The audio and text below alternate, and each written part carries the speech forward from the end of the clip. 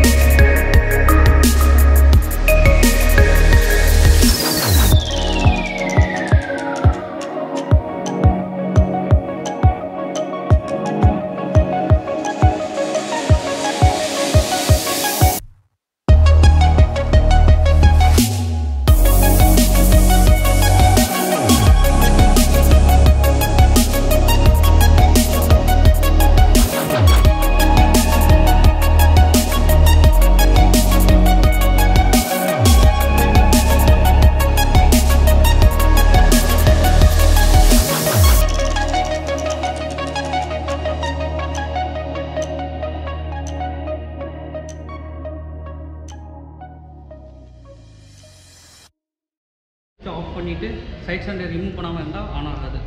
Side ஸ்டாண்டை remove பண்ணணும் இதை ஆன் பண்ணியிருக்கணும் வண்டி இருந்தால் மட்டும் தான் ரெடி மோட் கா ஆன்களாக இருந்தால் மட்டும் தான் வெஹிக்கிள் மூவ் ஆகும். இப்போ நார்மலாக தான் இருக்கும். சைட் ஸ்டாண்ட் மட்டும் ரிமூவ் பண்ணிக்கங்க. இப்போ கீ மட்டும் இருக்கணும் கீ என்கிட்ட தான் ஓகே ஓகே சரி சரி. இப்போ இதில் இந்த பைக்கை ரெஸ்ட் ஆகி கட்டிருக்கோம் ஸோ வெளியே போயிட்டு பைக் எப்படி இருக்குன்னு சொல்லி பார்க்கலாம்.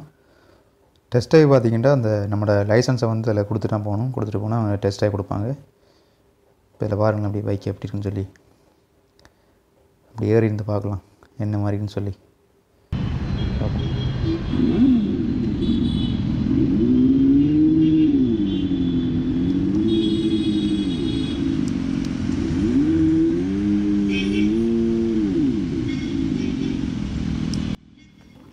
உண்மையில் இந்த எக்ஸ்ட்ராஸ் நோட் கேட்டிருப்பேன் நினைக்கிறேன். ஒரு சுப்ப வைக்கிற சவுண்ட் வருது. இருந்தாலும் நம்பிடாதீங்க இது வந்து ஃபேக்கான ஒரு சவுண்ட் சைடில் பார்த்தீங்கன்னா ஒரு ஸ்பீக்கர் ஒன்று இருக்குது. அதில் தான் சவுண்ட் வருது. நான் லாஸ்ட்டாக வந்து எப்படின்னு சொல்லி காட்டுறேன். இப்போ அப்படியே ஒரு வழியாக ஒரு ஜூட்டனை போட்டு வரலாம். அப்படி போயிட்டு எப்படி பைக் உண்மையில் ஓடுற பார்த்தீங்கன்னா ஸ்மூத்தாக இருக்குது. இந்த பைக்கில் பார்த்தீங்கன்னா மூன்று மோட் இருக்குது.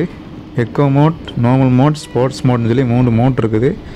அந்த மூணு மோட்லேயும் பார்த்தீங்கன்னா இப்போ நான் போயிட்டுருக்க மோட் வந்து எக்கோ மோட் எக்கோ மோட்டில் இப்போ வந்து இதில் ரேஞ்ச் வந்து நூற்றி நாற்பது கிலோமீட்டர் கிடைக்குமா நம்ம ஸ்பீட் வந்து ஒரு ஃபோர்ட்டி ஃபோர்ட்டி ஃபைவ்ல மெயின்டைன் பண்ணணுமா? அடுத்து வந்து பார்த்தீங்கன்னா நார்மல் மோட் நார்மல் மோட்டில் பார்த்தீங்கன்னா நூறு நூற்றி பத்து கிலோமீட்டர் ரேஞ்ச் கிடைக்கும். ஆனால் வந்து ஸ்பீட் வந்து ஒரு அறுபது அறுபத்தஞ்சி மாதிரி மெயின்டைன் பண்ணுற மாதிரி இருக்கும். அடுத்து வந்து பார்த்திங்கன்னா ஸ்போர்ட்ஸ் மோட் இந்த ஸ்போர்ட்ஸ் மோட்டில் வந்து எண்பது எண்பத்தஞ்சு கிலோமீட்டர் ஸ்பீடில் ஓடலாம்.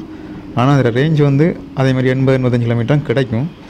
நான் அப்படி இருக்கும்போது பரவாயில்லனா சொல்லணும். பெட்ரோல் விலைக்கு இப்போ விற்கிற பெட்ரோல் விலைக்கு இது ஒரு சிறந்த ஒரு இதாக இருக்குன்னு நினைக்கிறேன். ஸ்ரீலங்காலேருந்து பார்க்குறாக்கள் உண்மையிலேயே இந்த பைக் கிடைக்குமான்னு ஏங்குறதுக்கான சான்ஸ் நிறையவே இருக்குது. இன்னொரு விஷயம் பார்த்தீங்கன்னா அந்த பைக்கில் உள்ள அந்த சேஃப்டி மோட் இருக்குது சேஃப்டி மோட்னு சொல்லிகளை வந்து இந்த பைக் வந்து நம்ம எவ்வளோ கிலோமீட்டர் தூரத்தில் போகணும்னு சொல்லி அந்த ஒரு அப்சோன் இருக்குது அந்த அப்சலை வந்து கண்ட்ரோல் பண்ண முடியுமா? இப்போ நான் வந்து உண்மையில் அஞ்சு கிலோமீட்டர் தூரத்துக்குலாம் இந்த பைக்கை வந்து எடுத்துகிட்டு போகலாம் அந்த ஷோரூம்லேருந்து அதாவது அந்த கீ பார்த்தீங்கன்னா அந்த அண்ணாட்டம் இருக்குது. அந்த கீழே கீ இருக்க தூரத்துலேருந்து கிட்டத்தட்ட அஞ்சு கிலோமீட்டர் தூரத்துக்குலாம் இந்த பைக்கை எடுத்துகிட்டு போகலாம். அந்த ரவுண்ட் ஷேப்பில் பார்க்கும்போது. இப்போ இதில் வந்து எங்கேயாவது எடுத்து யூட்டன் போட்டு திரும்பிடலாம். இப்போ வந்து பார்த்திங்கன்னா ஸ்போர்ட்ஸ் மோட்டுக்கு மாற்றிட்டேன் இப்படி மாற்றி நான் ஒரு ஃபோர்ட்டி ஃபோர்ட்டி ஃபைவ் இப்படியில் மெயின்டைன் பண்ணக்கூடிய மாதிரி இருக்குது. ஆனால் அந்த டக்குன்னு ஸ்போர்ட்ஸ் மோட்டுக்கு மாற்றும் போது இன்னொரு அட்வான்டேஜ்னு பார்த்திங்கன்னா ட்ராஃபிக்லேயும் வந்து வேகமாக பைக் வந்து மூவ் ஆகும். அதே இல்லாமல் நான் எக்கோர்ட்ஸ் மோட்டில் போட்டோம்னு சொன்னால் மூவ் ஆகிற தன்மைன்றது கொஞ்சம் குறைவாக இருக்குது. அது வடிவாகவே ஃபீல் பண்ணக்கூடிய மாதிரி இருக்குது. இப்போ இதிலே ஜூட்டன் போட்டுருக்கலாம் இருந்தாலும் ஒரு கொஞ்சம் தூரம் போயிட்டு வரலாம். அந்தளவுக்கு ஒரு அஞ்சு கிலோமீட்டர் வந்திருக்கான்னு நினைக்கிறேன். ஆனால் அந்த பப்ளிக் ரியாக்ஷன்றது கொஞ்சம் இருக்க தான் செய்யுது இந்த பைக்லேயும் சவுண்ட் இல்லாமையே போகிற மாதிரி இருக்குது ஆனால் அதுக்காக தான் அந்த ரியாக்ஷன் போல இருக்குது அப்படி இருந்தும் ஒரு சவுண்ட் பார்த்தீங்கன்னா லைட்டாக சூப்பர் பைக்கிற சவுண்ட் ஒன்று வரும். ஒரு இன்லைன் ஃபோ பைக்கிற சவுண்ட் எப்படி வருமோ அதே மாதிரி ஒரு சவுண்டு வந்து இதில் ஃபீல் பண்ணக்கூடிய மாதிரி இருக்கும். இதில் பாருங்களேன் இப்போ. இப்போ நான் ஸ்போர்ட் மோட்லாம் போயிருக்கல குயிக்காக மூவ் பண்ணக்கூடிய மாதிரி இருக்குது. இதான் அந்த பிஓசி பார்க்குன்னு நினைக்கிறேன். கோயம்புத்தூரில் இருக்கிற பிஓசி பார்க் இந்த காரை முந்திரான்னு பார்க்குறேன். இந்த முடியலையே ஐம்பத்தஞ்சு அறுபதுலாம் போகிறேன். இப்போ நான் அப்போ ஒரு மாதிரியா அப்போ ஒரு மாதிரியா முந்தியாச்சு.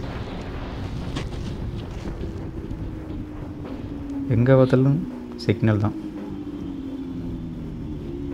இல்லை பூந்து பார்க்கலாம். பைக்கு போதான்னு சொல்லி.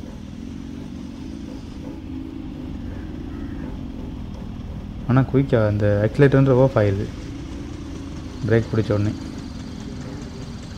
ஆனால் சீட் கைட் என்னமோ எனக்கு இந்த தெரிஞ்சு குறைவான மாதிரியே இருக்குது சீட் கைட்டுன்றது பார்க்குறதுக்கு ஒரு வெப்சைட் பைக்கில் இந்த முன் ஷேப் இருக்குது அப்படியே. ஆனால் நல்ல ஃபிட் அண்ட் ஃபினிஷாக இருக்குது.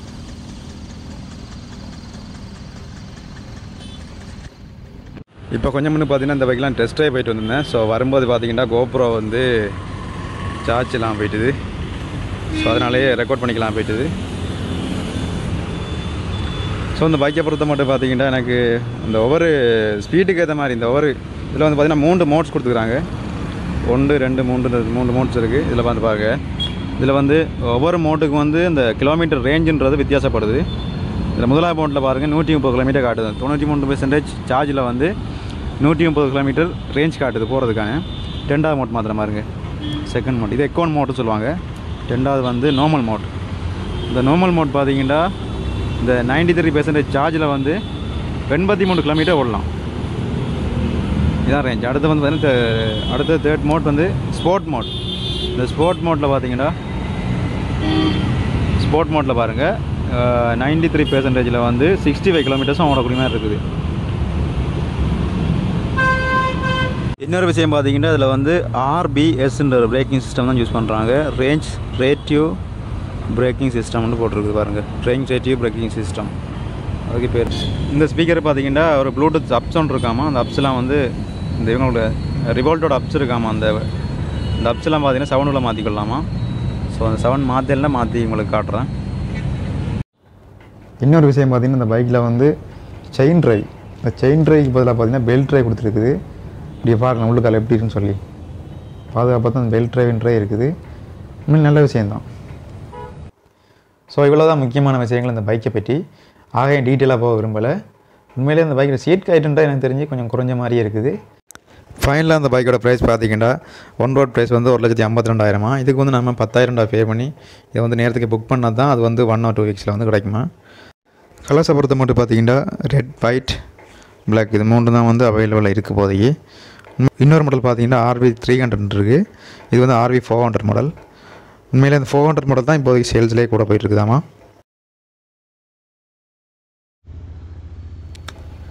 ஒரு வழியாக இப்போ டெஸ்ட் எல்லாம் பார்த்து முடிச்சுட்டு விளக்கிடுறேன்.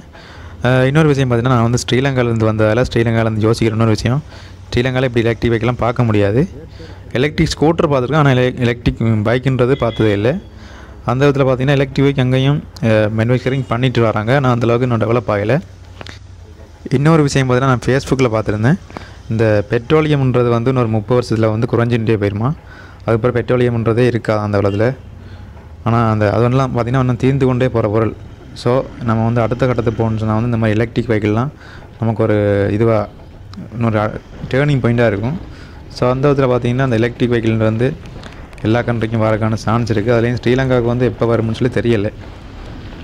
இந்தியா பொறுத்த மட்டும் பார்த்தீங்கன்னா எலக்ட்ரிக் வெஹிக்கிள் வந்து கூட்டிகிட்டு போகுது. இப்போ பெட்ரோல் எந்த ஒரு இடத்தை பொறுத்த மட்டும் பார்த்திங்கன்னா அந்த வாகனம்ன்றது மூவ் ஆனது தான் அடுத்த கட்ட வேலையில் நடக்கும். ஸோ அந்த விதத்தில் ஸ்ரீலங்கா வந்து படம் மோசமாகிட்டே போகுது. இந்த மாதிரி எலக்ட்ரிக் வெஹிக்கிள்லாம் சரிவில் இருக்குது ஸோ அந்த ரிவோல்ட் பைக்குன்றது நம்ம தான் ஃபஸ்ட் டைமாக ஸ்ரீலங்காவில் செய்கிறோம்னு நினைக்கிறேன். ஸோ அந்த வீடியோ பிடிச்சிருந்தால் மறக்காமல் சப்ஸ்கிரைப் பண்ணி விட்ருங்க ஸ்ரீலங்காவில் இருந்தால் யாருமே ஷேர் பண்ணுங்கள் முதலாவது